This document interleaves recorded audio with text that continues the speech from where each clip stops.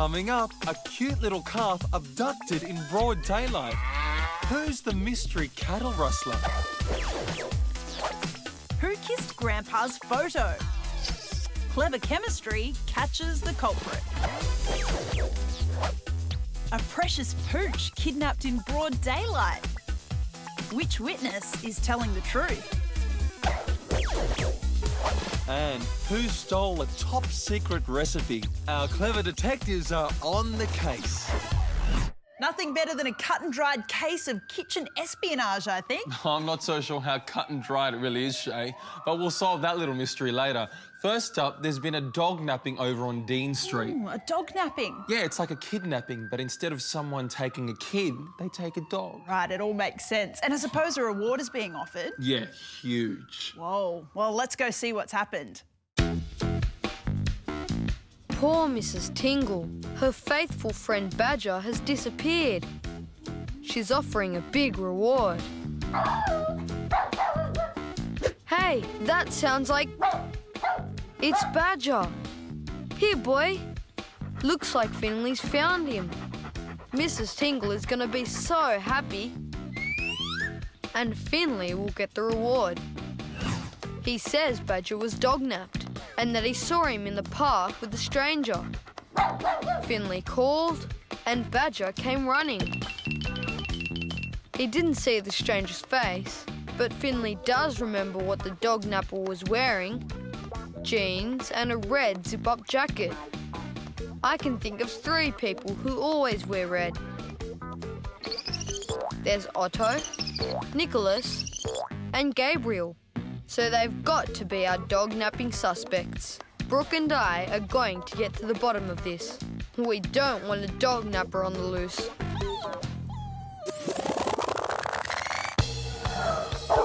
Dog napping can be a serious crime. In 2008, two Canadian men kidnapped a Labrador for a $15,000 ransom. But they were caught and charged with fraud. There he is, suspect number one. Otto. I wonder where he was this morning, doing his paper run, he claims. Are you sure? He still says he was delivering papers all morning. Well, that's easy to check on. Hmm, he has distributed a lot of papers. Otto's alibi is rock solid. We'll cross him off the suspect list. That leaves Nicholas and Gabriel. Nicholas first, but he claims he was gardening all morning. He had loads of seedlings to plant.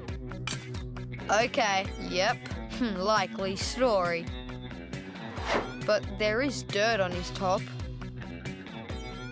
Yep, just planted. So Nicholas was telling the truth too. So he's off the list as well. Next up, Gabriel. He says he's been at football training and just got off the bus. And the timestamp on his ticket proves it. So he's in the clear too. All our suspects have solid alibis. So who was our dog napper? Solving crimes is a tricky business. First, there's the evidence to collect. Then, it's important to talk to people who may have seen what happened. Interviewing eyewitnesses takes a lot of time, but it often produces vital evidence. By matching different versions of what happened at a crime scene, police work out who's telling the truth and who's not. Computers are often used to track where suspects and witnesses were when the crime was committed. By combining all the evidence and all the eyewitness reports, investigators pieced together what happened at a crime scene. Most important of all, who the guilty person was. Wow, I never realised how tricky interviewing witnesses could be. Hmm, I always thought people told the truth when police questioned them. At least we know our witnesses are truthful. Well, Otto did seem to be doing his paper round. Yes, and Nicholas is certainly wearing a grubby jacket. Mm, and Gabriel's ticket showed that he had been to football training. Yeah, so they all seem to be telling the truth. But someone isn't. I wonder who. Well, let's hope Dean and Brooke can find out soon. Mrs. Tingle has offered a reward for her missing dog. Finlay says Badger was dognapped by a stranger wearing a red zip-up jacket. But our suspects who fit that description all have watertight alibis. We're back to square one. I need to think. You know, something about Finlay's story doesn't add up. He said he didn't see the dog napper's face, so he must have seen him from behind only. I wish Brooke would leave that zipper alone. Whoa! That's it! The zipper! If Finlay saw the dog napper from behind, there's no way he could have known the jacket had a zip on the front. He was trying to divert attention away from his own sneaky plan. He stole Badger, knowing Mrs. Tingle would offer a reward. Our dog napper is Finlay. Good work, guys. That was thorough and clever detective work. A person who claims to have seen a crime or a criminal is known as an eyewitness, but eyewitness evidence can be flawed. Smart detectives know that witnesses can forget important details, misunderstand what they see, and even lie. So it's important to gather other kinds of evidence before declaring a case closed. There's Finlay now. He's claiming the reward. Not so fast, dog napper. Mrs. Tingle will be very interested to hear what happened to Badger. All of a sudden, Finlay's remembered he's got homework to do. Aha, so it was Finlay after all. I thought I smelt a rat. It's funny you say that because I thought I smelled something really delicious coming from Jed's mum's kitchen. Mum's a famous chef, and she's trying out a brand new dish on her staff. It's a top secret recipe.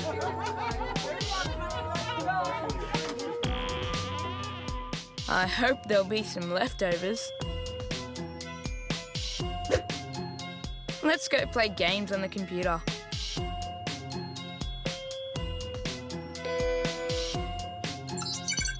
What's this? It's the recipe for Mum's top secret dish. She'd never leave it open on her screen. Someone must have snuck in and copied it. It's time for the good old pencil trick. Rub away. Whoa! It looks like. Yes! Someone has copied it. And it's got to be one of Mum's staff. It's either Mum's business partner, Madam Curry, or Jerry the chef, or Ian, the maitre d'. Any one of them could make a fortune by selling the recipe. Time for some quick detective work. They can't leave here with Mum's secret recipe. Thousands of years ago, ancient Egyptians wrote their recipes on special paper called papyrus. Papyrus was made from reeds that grew along the River Nile, and some of those papyrus recipes still exist today. Let's go look for clues. Whoa, what's that? A handkerchief. That could be a clue. Maybe it's the thieves. Aha! MC.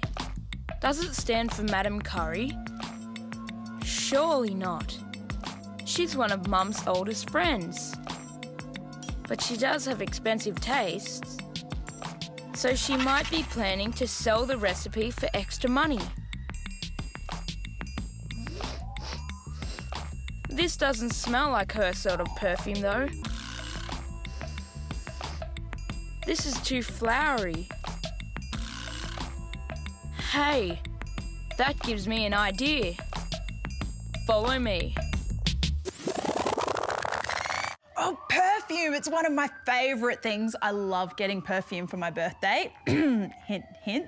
yeah, thanks. They all smell pretty much the same to me. What? Stephen, you know nothing, my friend. I'm about to educate you in the secret art of perfume sniffing. Here, what does that remind you of? I'll give you a hint. It's flowery. Uh, roses. no, it's Gardenia Glow. What about this one? Uh, it smells a little bit like bacon and eggs. You're hopeless. it's morning mist. Now try this. Afternoon delight. Oh, man. I give up. You have absolutely no knowledge whatsoever of the subtle smell of the finer fragrances. You're right. I'd be really hopeless at trying to find out who stole that secret recipe. Well, it's just as well we have Jed and Brooke on the case. Mum was testing a top secret recipe on her staff, but one of them snuck into her study and copied it. The only clue is a scented handkerchief. We're gonna see if we can match the smell of the staff's coats and scarves with the perfume on the handkerchief. Here's Madame Curry's. Yep, that smells just like Madame Curry's perfume. Not at all like the flowery scent on the handkerchief. Let's cross her off the suspect list. Now for Ian's. What do they tell us?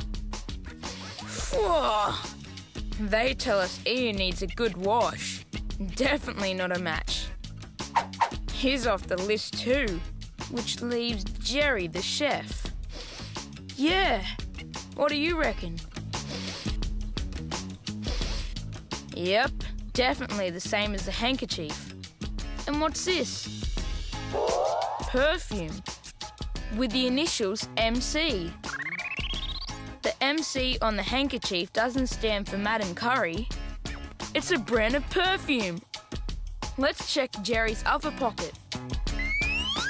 Could it be? It is. Mum's top secret recipe. Jerry the chef is headed for the chopping block. Excellent detective work.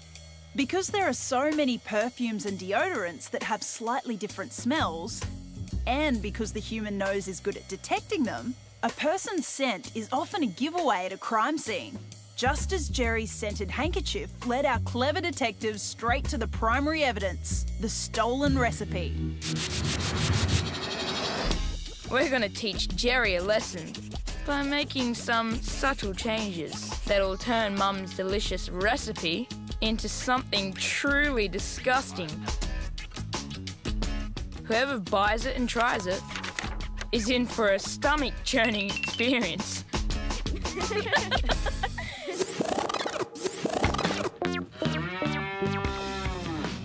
Claire's favourite calf, T-Bone, is missing. She took a weird photo last week. Now she's convinced T-Bone's been abducted by aliens. I'm not. Nah, gotta be a logical explanation. Let's have another look. Is he amongst that lot? No? How about over here then? Can't see him. Someone's got to have taken him. Let's think. It can only be one of two people. Dad, he's always moving the cattle around. Or Helena, she loves playing with the baby calves. Come on, with a bit of detective work, we'll find a down to earth explanation for this missing calf. More people report seeing UFOs during earthquakes. This may be because earthquakes change the Earth's magnetic field. Magnetic changes could affect our brains, making some people think they're seeing aliens. Now, the first thing is to search the obvious calf hangouts. Hmm, T-Bone's not in the cow pen. No, Claire, there's no way he was taken by aliens. Come on, let's see if someone's fiddled with the cow pen gate. They have! Now, Helena's pretty short. She barely comes up to here. Yep, I'm sure of it. The latch is too high for Helena. So that probably rules her out, which leaves Dad as prime suspect. So let's check the gate for his fingerprints. Forget your aliens. This calls for good old-fashioned detective work. First we dust the railings, brush away the excess, and... Hmm, no prints. That means Dad's probably in the clear too. I've run out of ideas. And Claire's still going on about UFOs. She wants me to see where she took the alien photo. Whoa! It's a waste of time. But I'm all out of sensible explanations. Why do people believe in such things as UFOs and haunted castles? Some scientists say it's because our brains may be affected by magnetic fields. In most places, magnetic fields are smooth, but in places where people think there are ghosts, like this castle, magnetic fields change much more. And if you sleep on a metal bed like this one, you're more likely to think there are ghosts because the metal mesh can become highly magnetised. Just maybe ghosts and UFOs are all in the mind because of magnetism, although nobody knows for sure. Seeing is believing, I say, and I've never seen a UFO. I think it's all a bit of a joke, really. Well, if you think UFOs are a joke, how's this one? Why do cats hate flying saucers? Why? They spill their milk. Uh. okay, try this one, Steve. Why do aliens make crop circles? I don't know. Because they're corny. Get it? They're corny? Yeah, I get it. I get it, Shay. I think your jokes are a little bit corny. What? Just a little bit. And I've never seen a crop circle for that matter either. Well, keep watching because you might be in for a surprise. Claire thinks a UFO abducted her favourite calf. I've been trying to solve the case with logic and forensic science, but my investigation has stalled. Now we're stuck with Claire's bizarre theory. Okay, so this is the place. Whoa! What's happened here? Looks like crop circles. Maybe a flying saucer did land here. Maybe Claire isn't crackers after all. T-Bone really was abducted by aliens. Oh, hi, Helena. Check this out. An alien spaceship came down and... Huh? T-Bone! Helena had him all along. She's the mystery abductor. Yep, as always, there's a logical explanation. Matthew and Claire missed just one tiny clue. There was a milk crate left lying near the gate. And this is what Helena used to stand on to reach the latch and take T-Bone for a walk. All Matthew's other forensic techniques were spot on, but solving tricky crimes can often depend on the smallest, most insignificant looking piece of evidence. Miss that, and the mystery goes unsolved. Thank goodness T-Bone is safe and sound.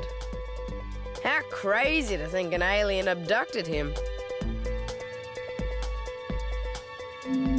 What's that sound? It couldn't be.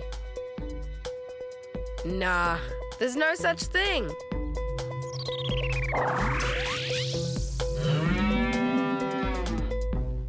I still don't believe my eyes. I think it's all done with smoke and mirrors, Shay. Oh, Stephen, speaking of mirrors, Yelena is throwing a 1920s party and she's about to get a big surprise in front of her mirror. Let's head to the party. How simply smashing do we look? We've got the beads, the swanky dresses, everything we need for a 1920s party.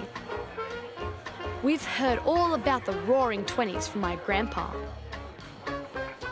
And now for the finishing touches some bright red lipstick.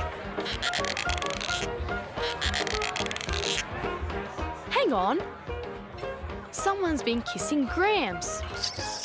How disrespectful can you get? Right. Which one of you ladies vandalised this photo? No one, eh? Don't worry, Gramps. I'll find out who this cheeky kisser is. All the suspects are right here. There's Brooke, she's playing all innocent. And Kate, looking as if butter wouldn't melt in her lipsticky mouth. And is light-hearted Louisa covering up her guilt. This calls for some fancy forensic footwork. Let's see. Red lipstick. Well, that's tricky. They're all wearing red lipstick. But they are different brands. They look the same, but are they? I'm gonna have to test them all. And I know just how to do it. Those ditzy dames won't know what's hidden. Ancient Egyptian pharaoh Cleopatra loved wearing red lipstick. The red colour came from crushed carmine beetles. And the lipstick stuck to Cleopatra's lips thanks to a mixture of sticky ants' eggs. To start, a quick dab of lipstick from the photo. This is the first step in my clever experiment. Then I'll pop it onto one of my cardboard strips. Now, samples from the girl's lipstick. I've identified whose is whose with coloured dots. Next, some rubbing ointment. Gramps uses it on his sore joints. And that's four. Okay. Each strip goes into its own glass. Yep, the ointment's already starting to seep up the strip. As it travels up, it will carry some of the lipstick with it. Each brand will leave a slightly different pattern.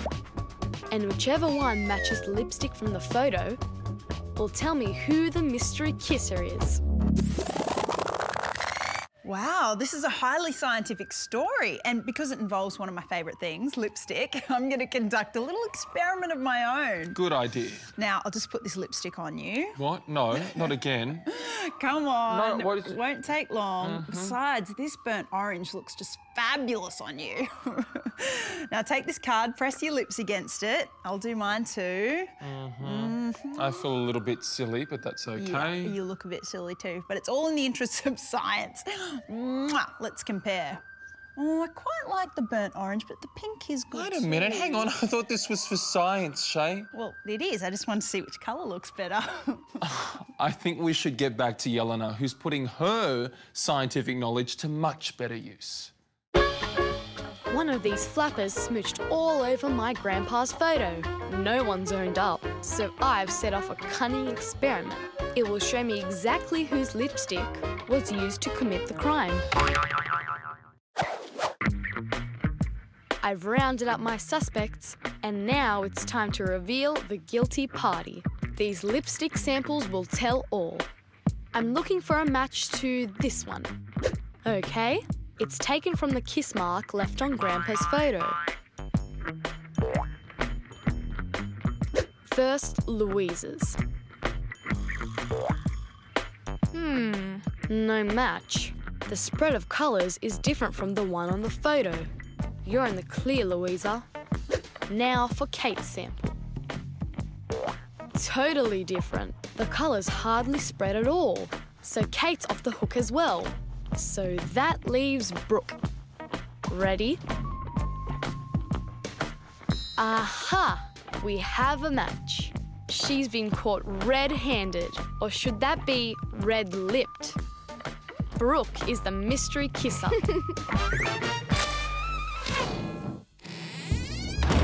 Nice crime solving, Yelena. Brooke was indeed the phantom kisser. While no one was looking, she snuck up to Grandpa's photo and planted big smackers all over it. Brooke wasn't really being disrespectful. She's just one of Gramps' biggest fans. But she was found out by an important forensic tool called liquid chromatography. Every brand of lipstick is made from a unique combination of colours. When Gramps' rubbing ointment dissolves the colours and carries them up the cardboard strip, they separate. And the way they separate identifies which brand is which, enabling our clever detective to match the culprit's lipstick with the one at the crime scene. Brooke's cleaned off the lipstick now, but she's not getting off that easily. She has to perform the magnificent 1920s Charleston dance for us. Go, Brooke. I'm sure Gramps will be most impressed. Well, maybe not. I don't know. I thought Brooke's dancing was pretty terrific. Hmm, and I thought Yelena's crime solving was top class. Well, it is our specialty on this show, and we'll have more dazzling crime solving next time. Bye.